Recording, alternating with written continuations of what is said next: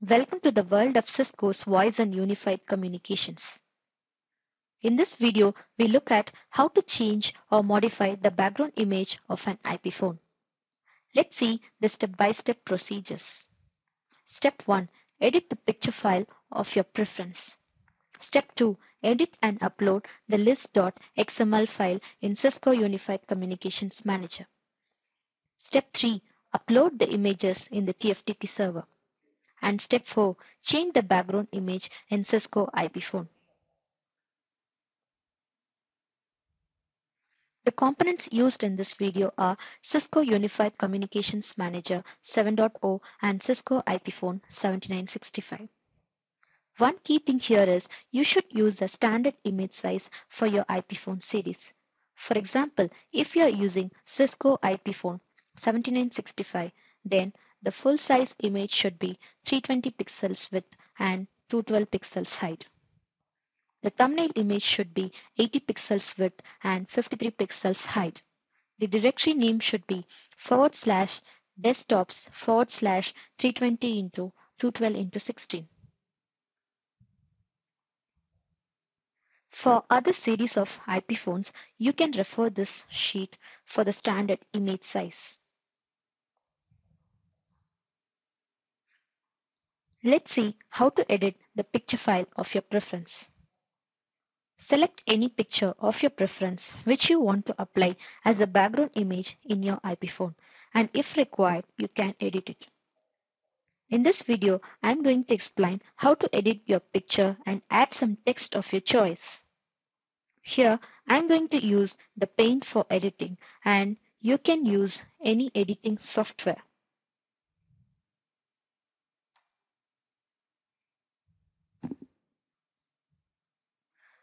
Go to Start, Programs, Accessories, Paint.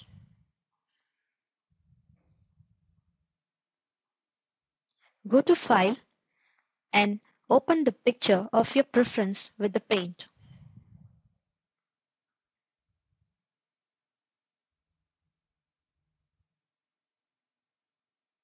Now I have selected a picture and I'm going to add some text.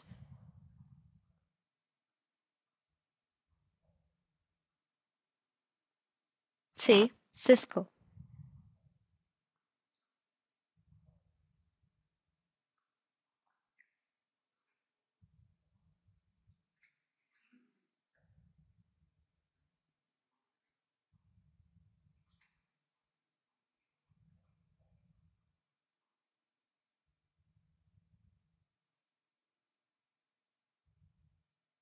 Edit the text size with the text toolbar.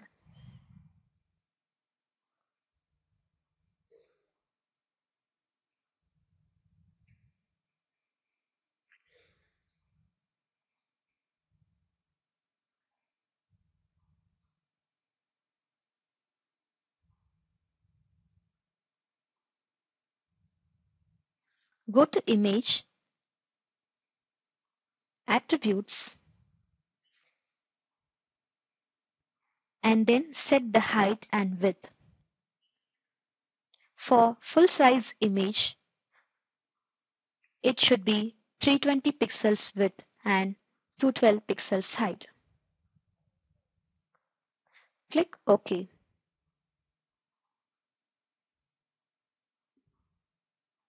Go to File and save the file with the file name and file type as PNG.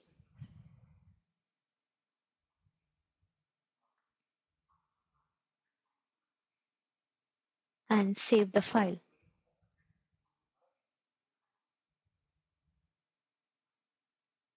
The image file is now ready. Let's create the image file for the thumbnail. Open the file and create any image of your choice with some text to it.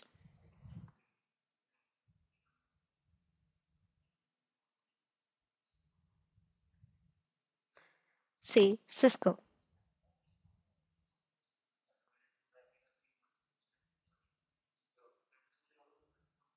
Edit the text with the text toolbar.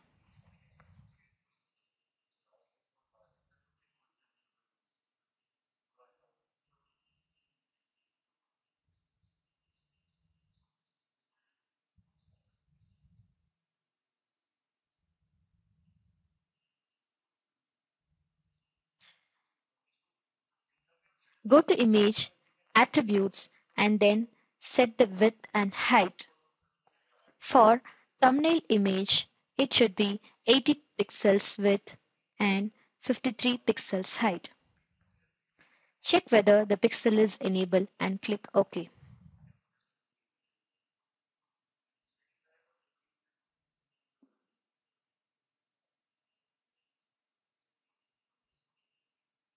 Go to File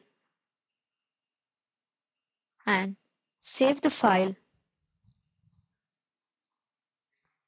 with the file name and file type as PNG.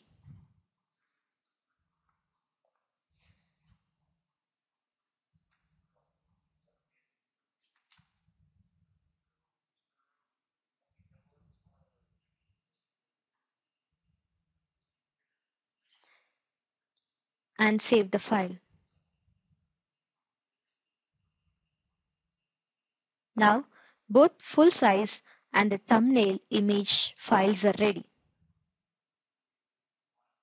Ensure the file type is PNG.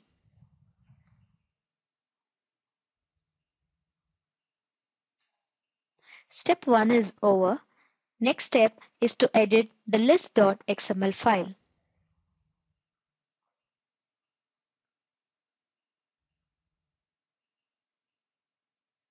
Download the list.xml file from Cisco Unified Communications Manager.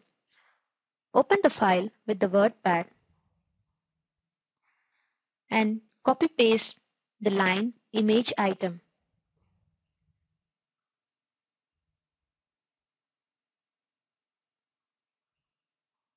Now replace the file names.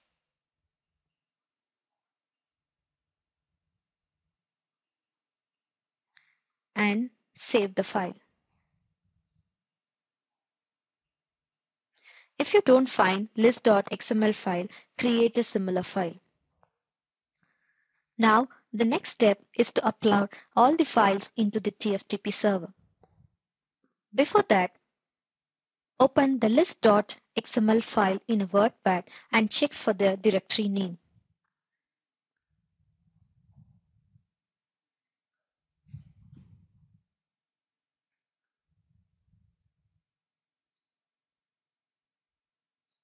Now go to Cisco Unified OS Administration and log in with your username and password.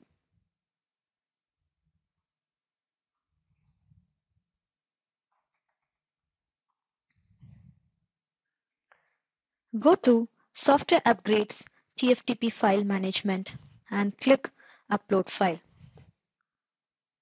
Browse for the image file image2.png and enter the directory name forward slash desktops forward slash 320 into 212 into 16.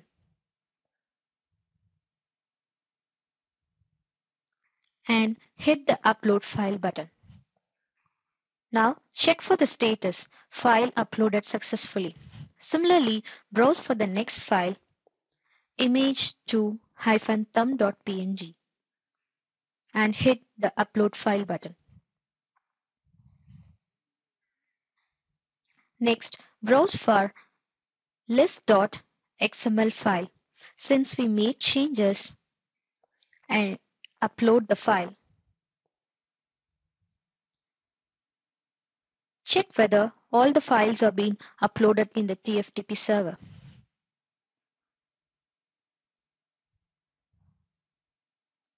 Select ends with and enter .png and click Find. As you can see here, image2.png and image2-thumb.png are uploaded in the TFTP server.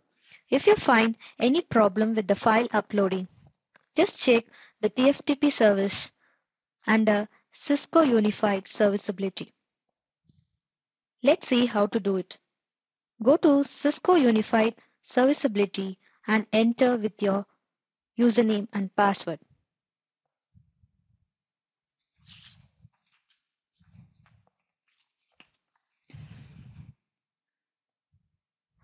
Go to Tools, Control Center, Feature Services. Now check for Cisco TFTP service. The service is started.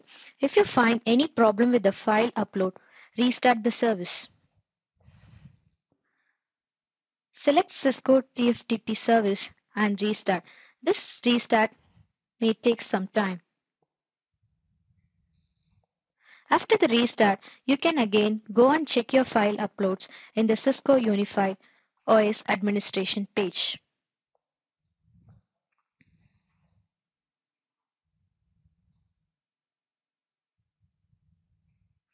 Now the restart is successful with the status Cisco TFTP service restart operation was successful. Now log out and go for step 4. Let's see how to change the background image in your IP phone. Select the settings button and then select the background images. Now select the thumbnail which you have uploaded and save the settings.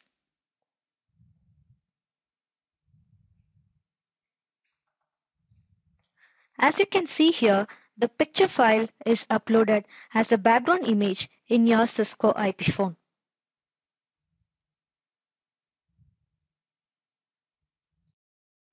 Hope you find this video helpful. Thank you. Let us know what are the topics you would like to see in the upcoming videos and leave your comments. Thanks again.